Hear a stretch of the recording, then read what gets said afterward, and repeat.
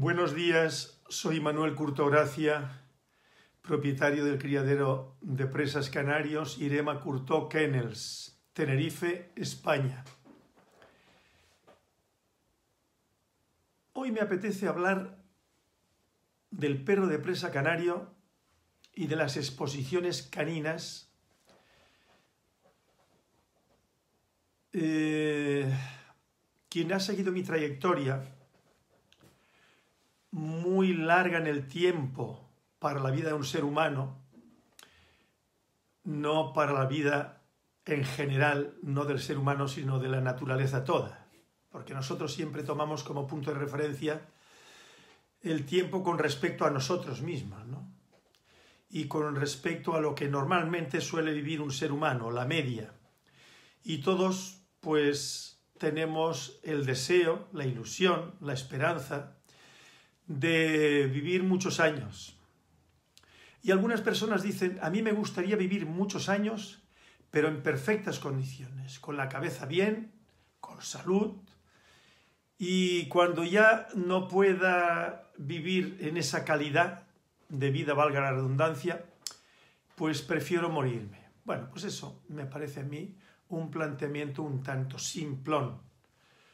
Eh, eso carece de importancia. Lo importante es la vida, en el momento que se vive, no pensar en el futuro cuánto vas a vivir y cuánto vas a dejar de vivir, o cuándo vas a dejar de vivir, y si vas a estar en tus cabales hasta los 100 años o vas a morir X, cuando sea. No, eso es lo de menos. Lo importante es el momento en el que se vive.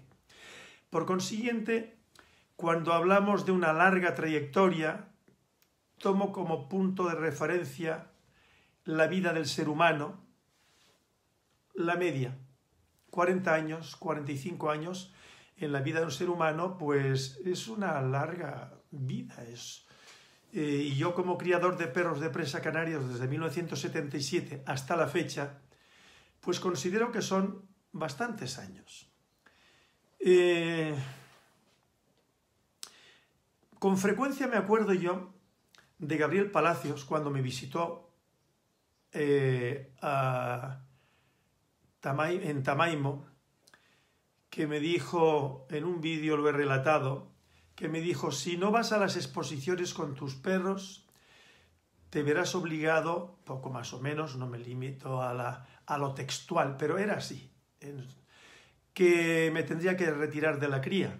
Y yo le respondí que no iba a ser así, que había distintas formas de, de practicar la cinofilia, de enfocar la cría del perro, exposiciones sí, exposiciones no. Y pues tenía yo razón. Tenía yo razón. Para muchas personas que tienen ese planteamiento o no dan más de sí su enfoque de la cría de la raza que críen, la que sea, pues bueno, se meten en ese modelo de exposiciones que no conozco otro, el modelo que yo denomino anglosajón, la cría barata, pensando solamente en sacar el perrito de la raza que sea para llevarlo a exposiciones, para obtener premios y luego anunciar en los medios que sea, periódicos o por internet en nuestros días, la venta de los cachorros del campeón tal o del campeón tal o, la campeona tal. Esas personas, yo pienso que en el fondo, en el fondo no son felices criando perros.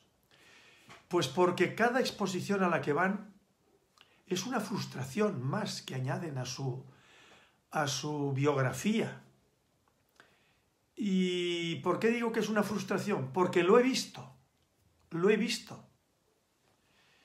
Eh, lo he visto incluso en aquellas personas que han ganado premios, pero después ya no han seguido ganando premios y acaban dejando la cría. Podría mencionar a muchas personas en Canarias, en la península y fuera de la península.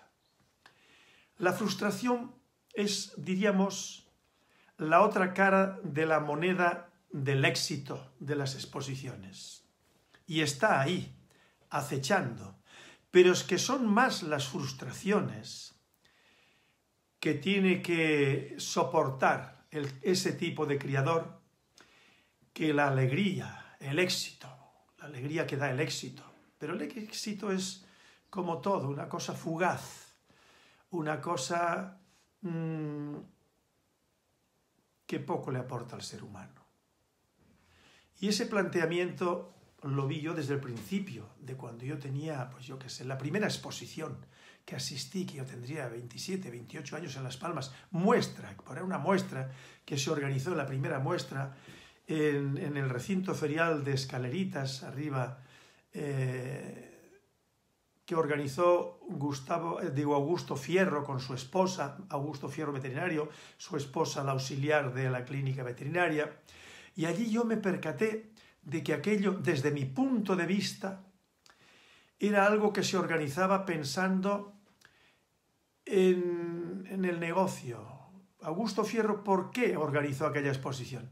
Hombre, pues porque él tenía una consulta veterinaria y era una forma de atraer clientes, quieran que no. Y es en realidad, en el fondo, lo que subyacía en ese, en ese planteamiento. Eso era atraer clientes a la consulta. Y cuando los criadores que van a exposiciones caninas es con la finalidad mayoritariamente de, bueno, en primer lugar, figurar. Mi perro ha ganado. ¿Pero ganado en qué? ¿Y campeón de qué? Siempre digo lo mismo. ¿Qué ha demostrado el perro ahí? ¿Ese perro era realmente bueno? ¿De calidad? ¿Sano? ¿Con buenas caderas, con buenos codos, con buenas bocas, con buenos movimientos? porque se supone, entre otras cosas, que esto se da por hecho, pero que no se cumple, se da por hecho de que esos perros van a tener buenos movimientos, con arreglo a la raza que pertenecen, y cada raza tiene sus propios movimientos. El caniche no tiene los mismos movimientos que un pastor alemán, o que un presa canario, o que un dogo alemán. Pero no hay más, no hay más. Eh, y ahí queda todo.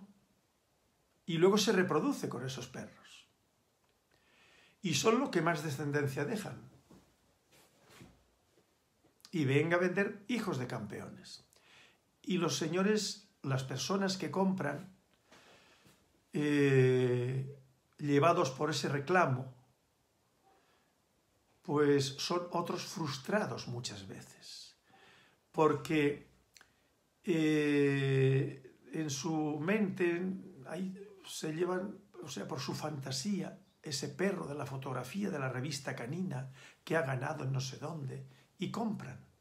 Y la verdad es que esas personas, eh, los esos criadores, se salen con la suya en la mayor parte de los casos. Venden hijos de esos perros, pero los que los compran, la mayoría de ellos, eh, luego tienen una larga frustración.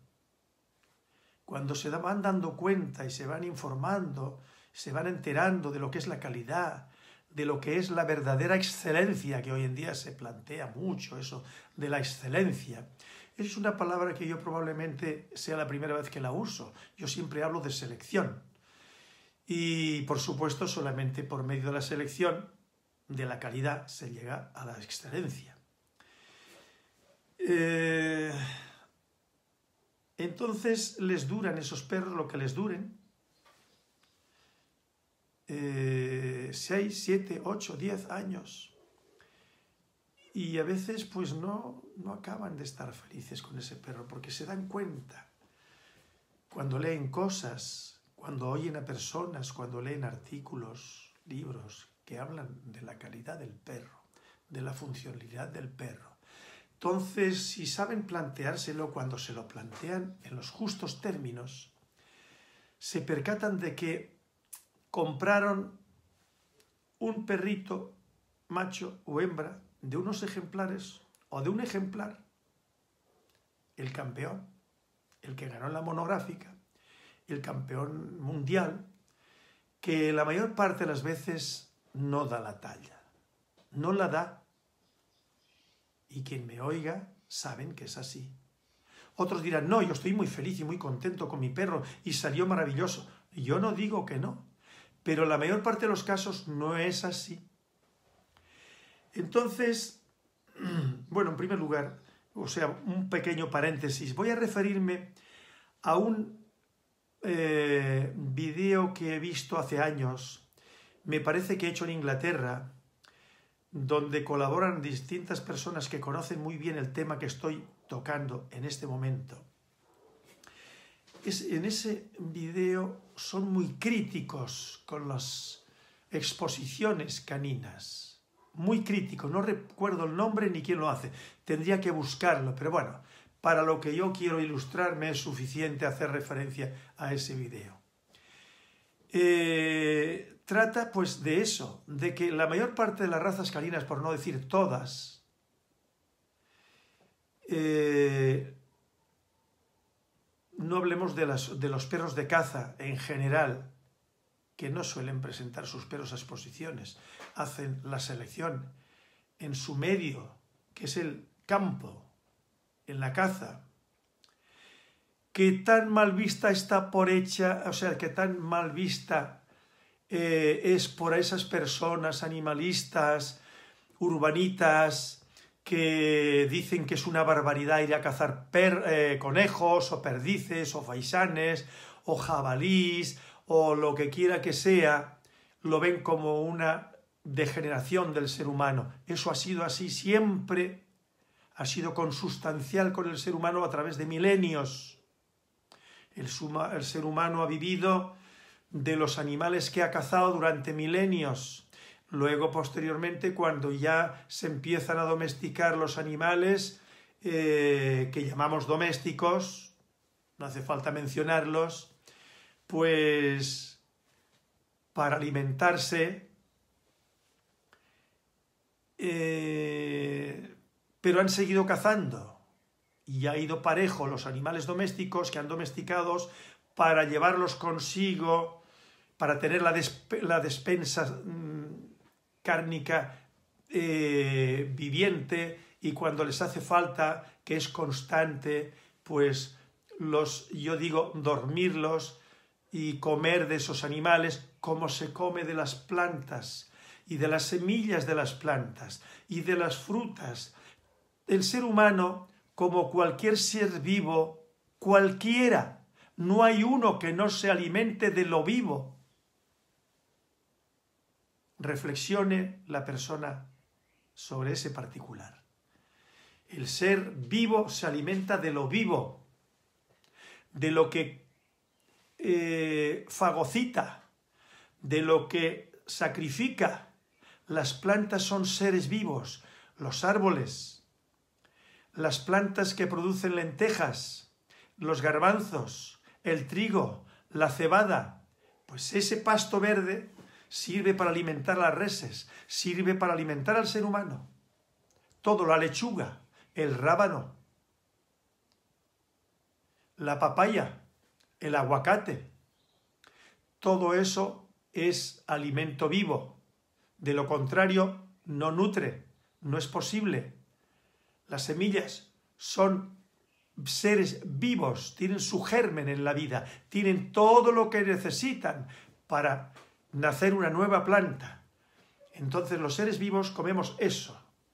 Los veganos, que yo no tengo nada en contra de los veganos, ni de los vegetarianos, yo hay épocas que soy vegetariano, o casi, digo, sí, vegetariano, o casi vegetariano.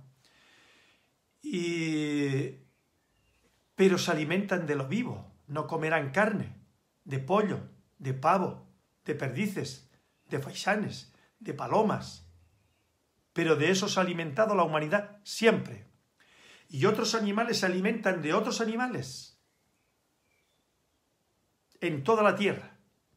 Y no sabemos lo que ocurrirá, y yo me imagino que de ser cierto que hay vida en otros planetas en millones de planetas. Yo doy por hecho, mientras no se demuestre lo contrario, ni a favor ni en contra, yo doy por hecho, por cierto, por realidad aceptable, de que en los otros planetas, donde quiera que sea, hay vida. Y sean como sean los seres vivos, se alimentarán de la vida también.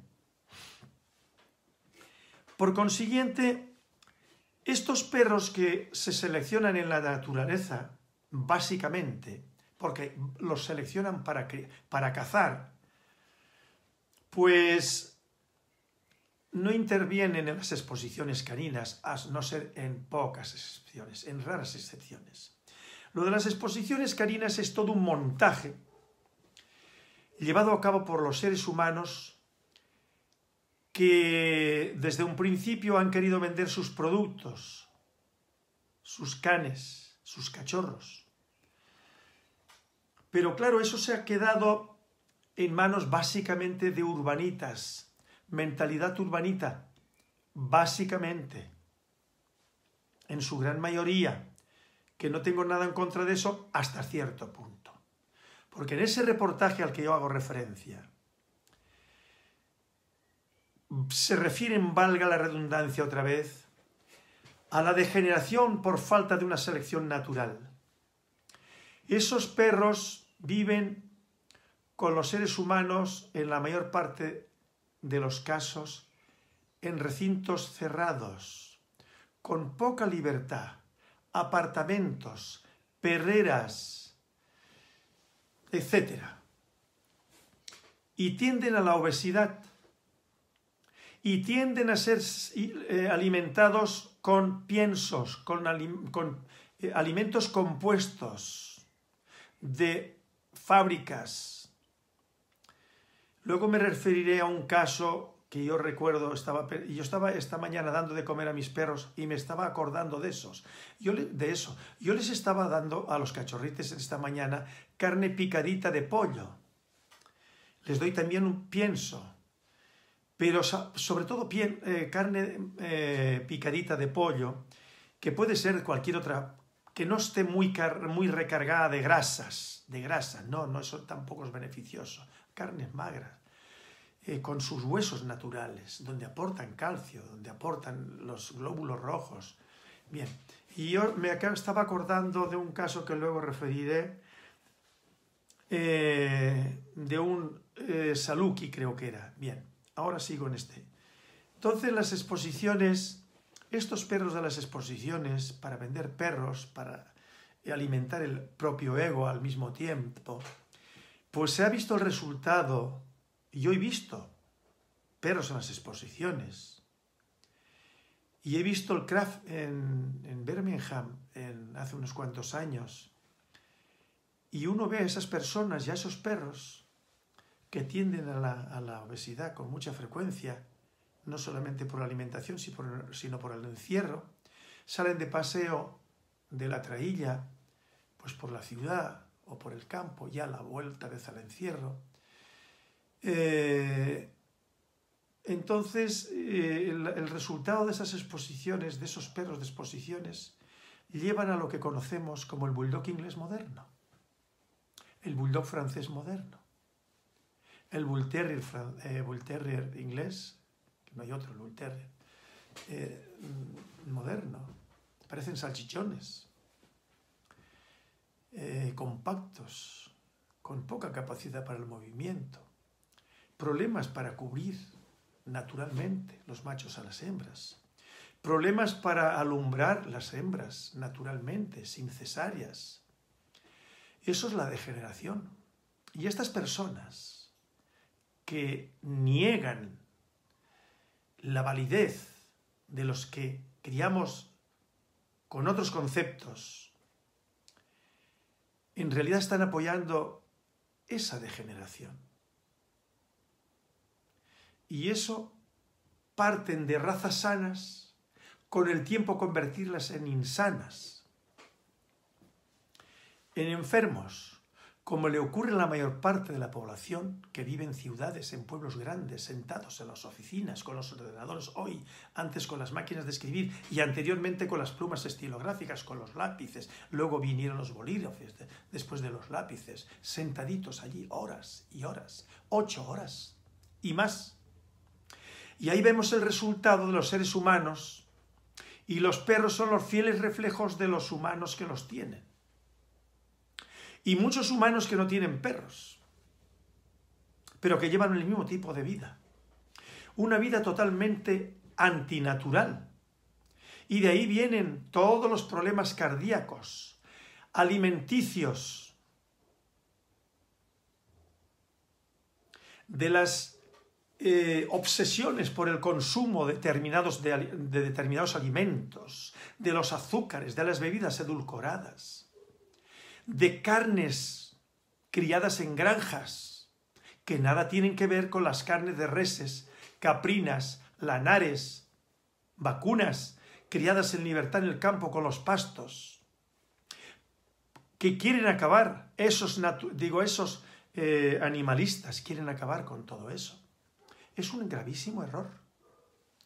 Esos antinatural de mentes antinaturales. Y muchos de los planteamientos, casi en su totalidad, de esas personas, de esos ocupas, de esos ciudadanos que viven sentaditos, que poco ven la naturaleza, que poco están en el medio rural, se está concentrado en las ciudades y los campos cada vez más despoblados, de esos seres humanos que se reproducen mínimamente y muchos no se reproducen. Y después dicen que hay que traer, eh, favorecer la inmigración, porque no hay suficiente mano de obra, pero por otro lado esta chusma de gente que son víctimas de esas élites que han montado todo este tinglado que conocemos y que tan en boga está en estos momentos y que estamos sufriendo las soluciones que le buscan a la humanidad para su beneficio. Y toda esta chusmita que se ve en las calles, que me entiendan lo de chusmita, son víctimas, víctimas de toda esa gente. Eh, viven de esa manera. No viven en el campo, no viven en la naturaleza cultivando lechugas, garbanzos, cebada, avena, criando animales para alimentarse de forma sana. No. Viven en las ciudades como parásitos inconscientes, irreflexivos, incultos, manejados totalmente por los políticos corruptos. Y no, no, me refiero solamente a los políticos, a esos jueces y a esos abogados y a esos empresarios que forman esas tramas en todas partes, en las ciudades. ¿Eso de qué es producto? De la degeneración, del egocentrismo, de la alienación mental ahí no hay sabiduría. Aquello de Sócrates, el mayor mal, la ignorancia, el mayor bien, el peor mal, la ignorancia, el mayor bien, el conocimiento. El conocimiento no es tener un título, dos o tres universitarios, de lo que sea, no. Eso no es el verdadero conocimiento. El verdadero saber Esas personas pueden prescindir totalmente de la moral, de la ética, de la justicia. Así hay jueces asesinos en serie en estos momentos. Ahora nos podemos enterar vía Internet. Entonces, los perros criados en naturaleza, pensando en su funcionalidad, teniendo muy en cuenta su salud, física y mental. Eso es lo que yo preconizo desde el principio. Eso es lo que yo veo como cría eh, sana, cría inteligente. Entonces, yo desde el principio he sido, y quien ha seguido mi trayectoria lo sabe, que es así, lo he publicado en artículos, lo planteo en mi libro del 91, que son parte de una recopilación de artículos que yo escribí anteriormente en revistas especializadas caninas, en el, periódico El Día, del que yo fui colaborador muchos años, como colaborador no remunerado que me aceptó eh, el director de la época, Ernesto Salcedo Vilches, andaluz, que vivió y dejó su descendencia aquí en Canarias. Entonces, yo es que estoy en contra de las exposiciones caninas. Allá ellos los que los organizan. Pero es que hay otra forma de criar perros. Hay otra forma de selección. Con el conocimiento. Con una cultura verdadera, canina. Hay un criador de caballos españoles en Andalucía. Tengo entendido que tiene 11.000 hectáreas. Cría caballos españoles, ganado vacuno para carne, de una carne excepcional, en esas 11.000 hectáreas, y cerdo, ibérico de bellota, con denominación de origen sus productos y exporta, tiene su propia denominación de origen. Este señor demuestra tener sabiduría. Este señor demuestra ser sabio más que tener sabiduría. No, la palabra tener no es correcta. Eh, demuestra su sabiduría. Sus caballos españoles no van a exposiciones, a morfológicos. No. Dice que los llevan otros. Yo me siento muy honrado, parece ser que dice poco más o menos, de que caballos que he vendido ganen en morfológicos. Pero él no va a morfológicos. Pero él selecciona funcionalidad. Y sabe lo que es la funcionalidad, lo que es la salud, lo que es la funcionalidad para el caballo desde el punto de vista de la silla, de la doma vaquera, de la doma clásica, etc. De ahí viene Fuego 12, ese caballo que fue olímpico, un gran semental, criado por este señor. Y Miguel Ángel Cárdenas, contentísimo con el caballo, acabó comprando el padre de ese semental, Fuego 12. ¿Por qué? Por lo que daba. Pero ¿dónde estaba el médico? Eh, digo, el mérito. El mérito estaba no en los morfológicos, sino en el trabajo. Y el mérito estaba en el ganadero que crió esos caballos, no en Miguel Ángel Cárdenas, que yo no le quito mérito porque lo, lo metió en la doma eh, y demostró sus habilidades en las pistas de doma en España y en el extranjero.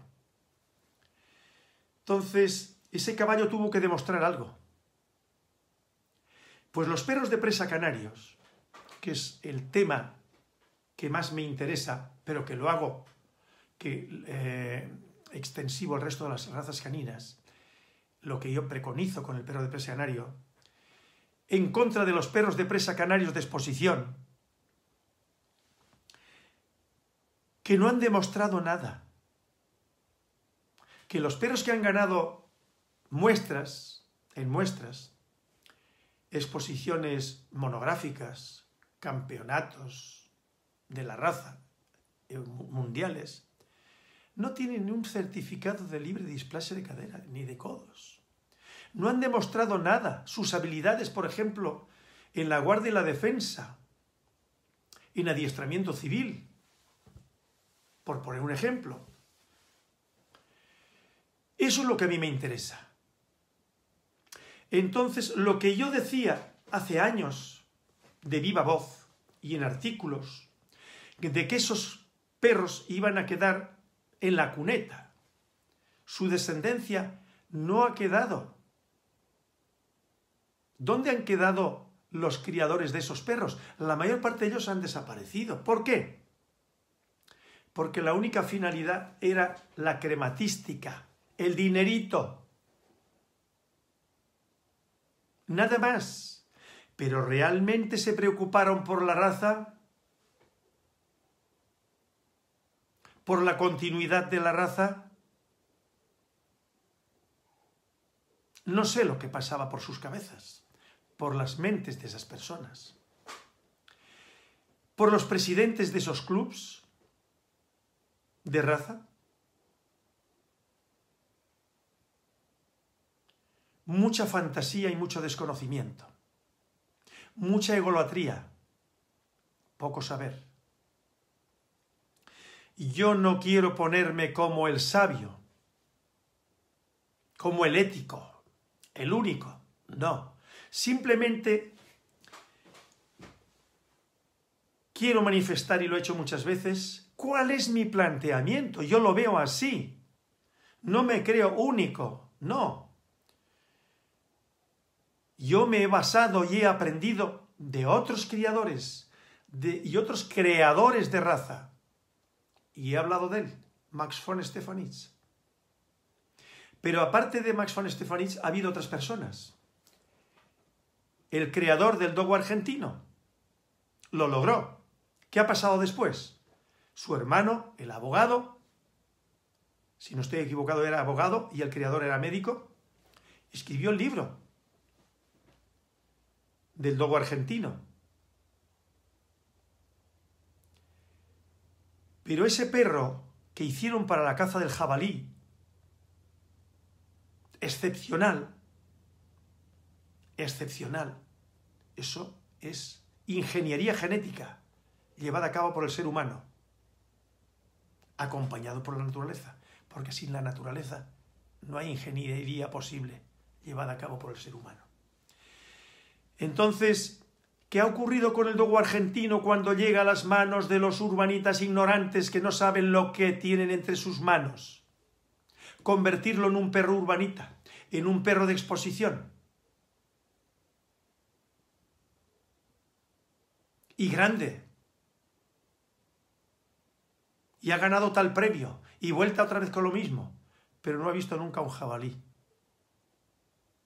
Lo mismo que muchos pointers ingleses. Lo mismo que algunos podencos y bicencos. Una raza maravillosa. Antiquísima. Lo mismo que los podencos canarios. No una raza tan pura como el podenco y bicenco, por supuesto, pero también muy apta para la caza de conejo en terrenos como los canarios, volcánicos, de mucha piedra, maravillosos y cuando se ha cruzado, que ha sido constantemente con el Podenco y Vicenco, que siempre se le llamaba mallorquín cuando era Ibicenco, se le llamaba mallorquín en Canarias, sí, en Canarias. Y arpudo, al de pelo duro, en Canarias se le llama arpudo, y se le cruzaba con el podenco canario, que a su vez venía de cruces también, pero que es una raza ya. Hay diversidad entre familias, porque se le metió también los perros de perdices, que daba resultados maravillosos para cuando los cruces eran acertados. En tres o cuatro generaciones ya eran maravillosos cazando aquí, en estos terrenos, con perros muy constantes, una forma de cazar distinta al podenco y bicenco. Bien, pues entonces el perro de presa canario criado para el trabajo, siempre con la reflexión. Es maravilloso. Pero cuando lo meten en exposiciones, lo enfocan solamente en las exposiciones, sin tener en cuenta nada más, o como se dice aquí en Andalucía, más nada, el resultado es nefasto.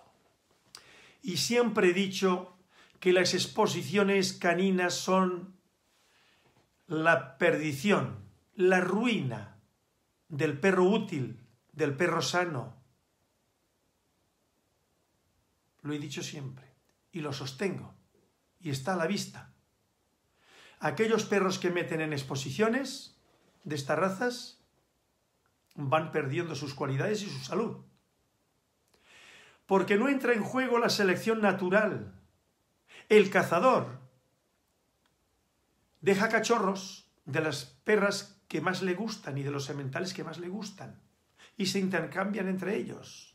No hay criadores en el propio en el término exacto de lo que es el perro, eh, digo el criador de perros. No, ellos tienen seis o siete hembras, o cinco, o cuatro, o tres, o dos, con un macho o dos, y con los amigos se intercambian, buscando perros para cazar y los que funcionan se reproducen y los que no se apartan. Punto. No hay más. No hay más ciencia. Y los cabreros lo mismo, y los ovejeros lo mismo. Y los de carne, de, ovejas de carne como es la Peliway en Canarias, que es una descendiente remota de, los las, de las ovejas eh, sin lana, sino con una especie de pelo del norte de África, de los tiempos de los aborígenes que se llevaron a África, digo a América, a Venezuela y todo eso, que luego se han recuperado, se han vuelto a traer hace unos pocos años de la mano de Rodolfo Sicilia, se introdujeron aquí de forma clandestina, pero que bueno, que no hay mal que por bien no venga, lo prohibía la ley, pero se trajeron y se introdujeron aquí. Si no estoy equivocado, fue don Rodolfo Sicilia el que las trajo con la complicidad de gente de la consejería, que hicieron la vista gorda, y del cabildo. Y aquí están. Estas son de carne, no son de leche. Una carne maravillosa. Y que la han cruzado con la de, lana también. Y aquí están. Bien. Pero esto no se selecciona en las exposiciones. Esto se selecciona para la leche, las que son de leche, para carne, las que son de carne, lo mismo que las reses unas son para carne, otras son para leche. Y en España y partes de América y partes también de Francia en el sur, las reses para rejoneo y para toreo a pie. Carne maravillosa para los que comen carne, que son la inmensa mayoría. Los comedores de carne, desde que se tiene conocimiento del ser humano, viene de milenios y milenios de generaciones, pero no por degeneración, por necesidad imperiosa que impone la naturaleza. Esa es la realidad, no otra. Y las ideologías hay que dejarlas aparte, porque las ideologías lo único que hacen es llevar a la degeneración política, cultural, nutricional en los seres humanos, porque ya hemos visto que estos veganos quieren meter incluso a los animales, los quieren convertir a todos, a todos, los que comen también carne, en veganos. O sea, tigres, leones, lobos, chacales, dingos. La estupidez humana ha llevado a estas personas a semejante degeneración mental. Y lo siento por ellos. Y que no se lo tomen a mal, que reflexionen sobre eso y tendrán que demostrar que estoy equivocado. Lo tendrán que demostrar, no con ideologías estúpidas. Lo cual no quiere decir que haya personas veganas, porque su convicción porque no les gusta la carne o porque mentalmente han llegado a la convicción de que no les gusta la carne. Vale, incluso los pescados, incluso los huevos. Pero ¿qué hubiese sido de la humanidad si no hubiesen comido pescado, huevos, aves, animales en general? ¿Qué hubiese sido?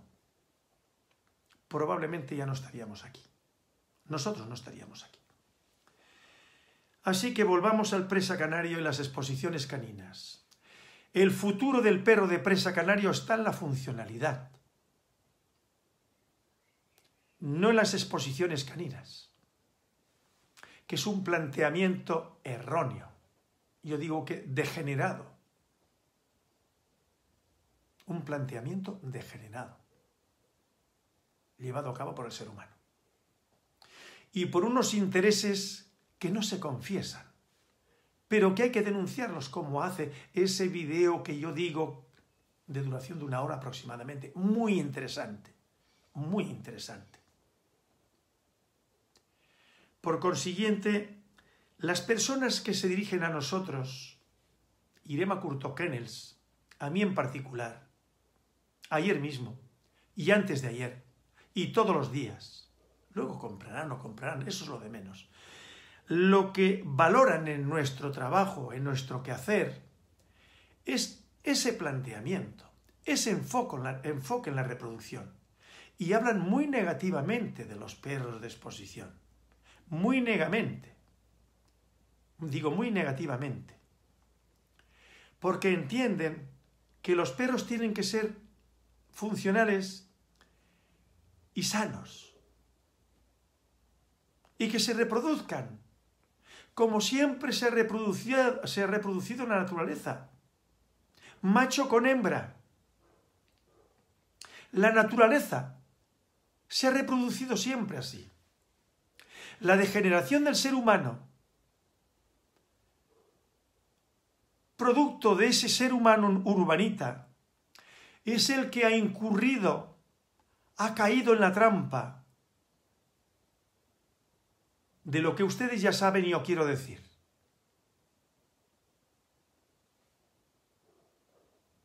Y por eso no se reproducen. La reproducción en cualquier especie animal, como es el ser humano, animal racional, pero animal, porque si no, no podría existir, se reproduce el macho con la hembra, cualquiera. Recuerdo una vez un aparejador que venía a montar a caballo aquí en mi centro con su novia. Si no recuerdo mal, ella era bióloga y el aparejador. Y un día hablando, me dijo, no, yo no soy un animal. Ah, bueno, pues nada. Yo intenté convencerlo con argumentos de que, no que estaba equivocado. El ser humano está clasificado como animal racional. Animal racional.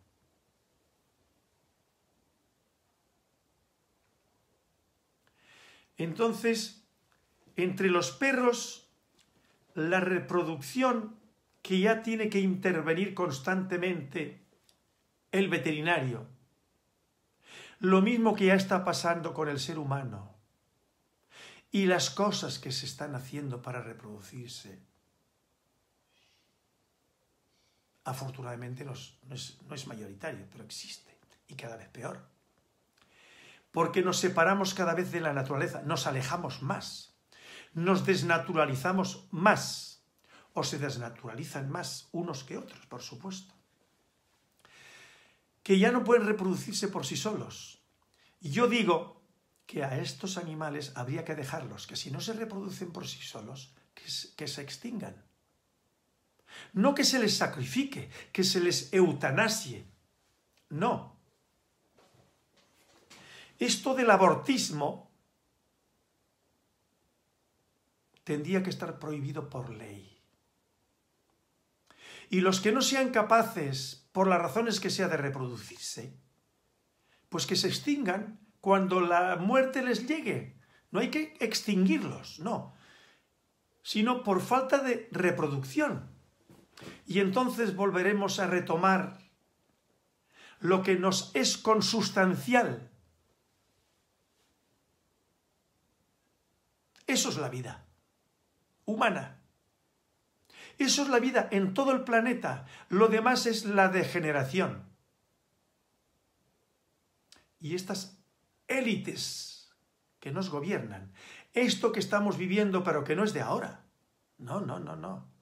Eso es de muy antiguo. Lo que pasa que ahora con nuevos medios económicos, técnicos, científicos, y lo estamos viviendo y las víctimas somos todos.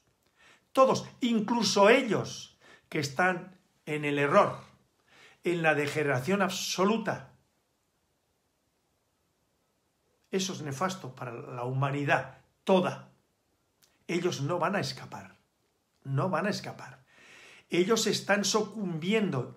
Ellos podrán intentar, por medio de las mayores aberraciones, de generaciones de las mayores barbaridades.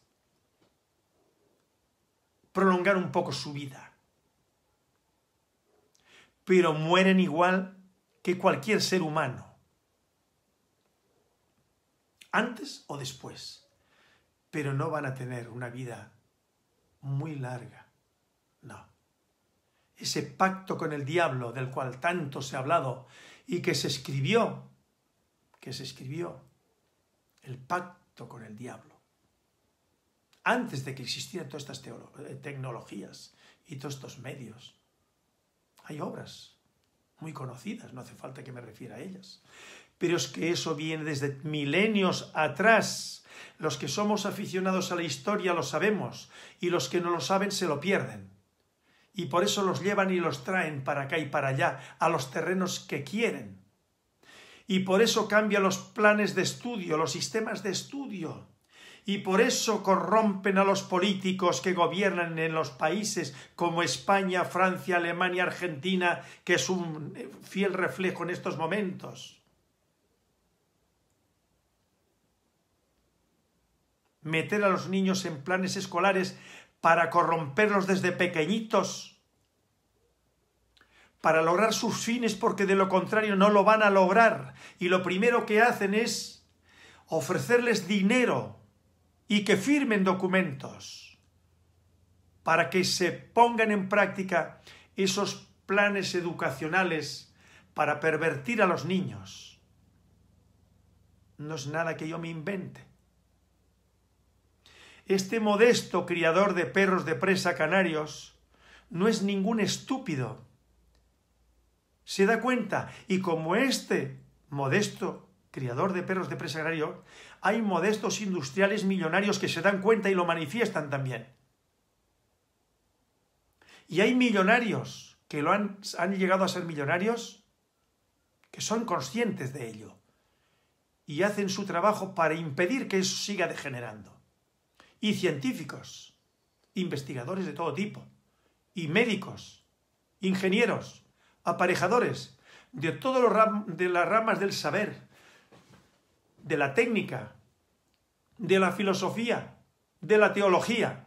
Pero claro, nos encontramos con papas que cuando uno estudia la historia de los papas y de los concilios se da cuenta de cuánta corrupción ha habido siempre y que ha llegado hasta nuestros días y ha sido una constante lucha del bien contra el mal. Una constante lucha y del mal para pervertir y convertir en mal y podrir todo por su bien. Esto es terrible, pero tenemos que seguir luchando. No hay otra. Y cuando criamos perros de presa canario tenemos que ser conscientes también de eso. Para no criar perros inútiles, enfermos, solamente por un dinerito, por un premio, por una copa, que alimenta tu ego, pero qué forma. Eso es una cuestión totalmente pasajera. Después viene la frustración y mayor frustración cuando la persona cae en la cuenta de que es un estúpido, que eso es irrelevante. El conocimiento es lo relevante, el buen hacer, la moral, la ética. Un cordial saludo y hasta el próximo vídeo. Pongan un perro de presa canario en sus vidas